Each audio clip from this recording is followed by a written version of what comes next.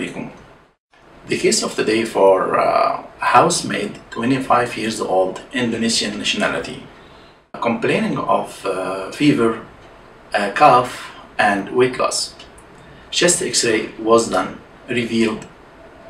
Uh, this is the chest X-ray of the patient, revealed uh, innumerable uh, micronodules distributed diffusely in both lungs, involving all the segments of both lungs as you see here. No significant pleural effusion could be appreciated. After that, CT was requested with intravenous contrast administration for more clarification.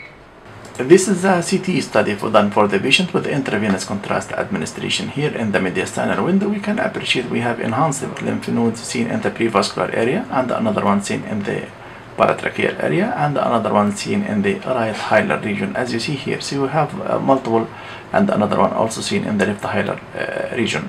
So we have multiple mediastinal lymph nodes enlargement, some of them showing uh, enhancement. Uh, this regarding the mediastinal window.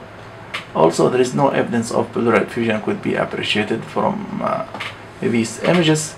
If we go for the lung window here, we can appreciate innumerable micronodules diffusely distributed in both lungs, involving all the segments of both lungs as you see here. So this is a classical picture of micronodules or miliary shadowing. So what do we have? We have innumerable micronodules distributed diffusely in both lungs. In the last episode, we mentioned the difference between micronodules and nodules. And we said in a nodule less than 3 millimeter in the lung, we call it a micronodule or miliary shadowing.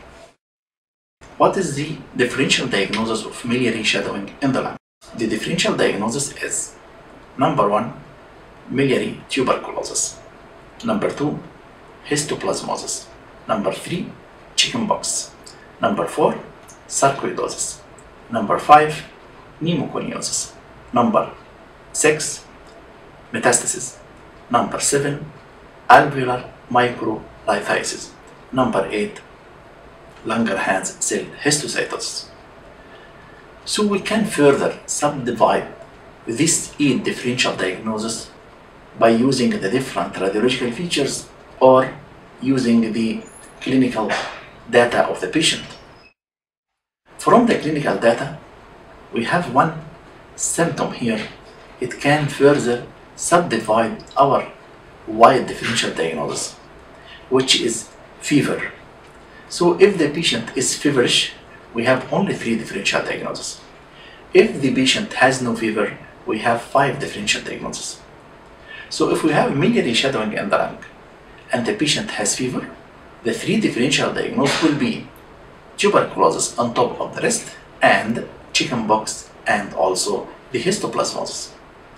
And if the patient has no fever, the differential diagnosis will be the remaining five differential diagnoses. So the patient here, he has fever. So the differential diagnosis will be either miliary TB or chickenpox or histoplasmosis. I can exclude histoplasmosis because we are living here in Saudi Arabia and this disease is endemic in South America and also I can exclude the chickenpox because the clinician he doesn't raise the possibility of chickenpox because the patient he has no skin rashes or other signs and symptoms of the chickenpox. The remaining diagnosis is miliary TB. What is the miliary TB? Miliary TB it is a hematogenous spread of TB. It can follow the primary TB and it can also follow the reactivation of the primary TB. So this is our case of today, case of miliary TB. Thank you very much.